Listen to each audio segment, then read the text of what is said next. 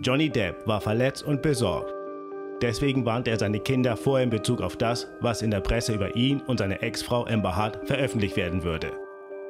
I had to uh, alert them that there might be some ugly, ugly, ugly things coming out um, that that were most assuredly going to put me in the position of a violent, drug-addled alcoholic. Uh, Seine Botschaft war aber nicht nur eine Warnung, sondern auch eine Entschuldigung für alles, was sie sehen würden.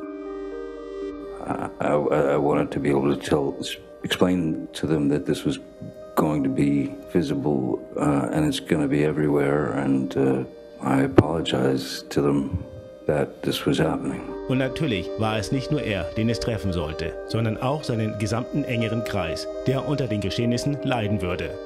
The prenup was to, to make sure that his children were protected. That's Jack and Lily Rose. Jack and Lily Rose, yes. Johnny war am Boden zerstört, als das alles herauskam.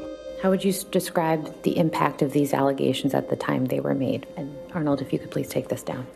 I, I've, I've, I felt ill. I felt sick. I mean, I'm sick in a sense that there was no tr- truth in it. Die Welt ist für ihn völlig zusammengebrochen. Es dauerte nicht lange, bis die Anschuldigungen auf den Titelseiten von Hunderttausenden von Medien in aller Welt waren. Johnny Depp hatte Amber Hart missbraucht. Und es gab absolut keinen Zweifel daran.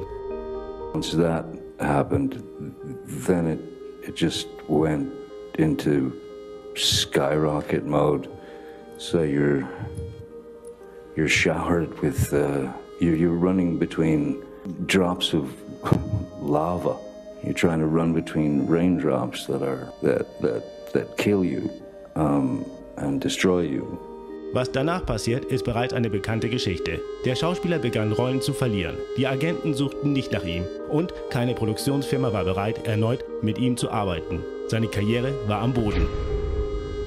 Creo que en el aspecto personal se siente que fue devastador. Imagínate que tú vienes de, venías de una relación toda tranquila, en donde tú estás cuidando tu privacidad y que se vuelva una situación mediática.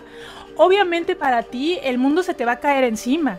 Y, eh, la perspectiva que la gente tiene de ti va a cambiar. Y siento que eso a Johnny Depp le afectó muchísimo. Felt like it was incredibly cruel and treachery. I felt it was treachery. It was. It, it, it was. Uh, I don't know if she wanted me to just be erased or drop dead or or or just uh, let me stick around and allow her to ruin my life.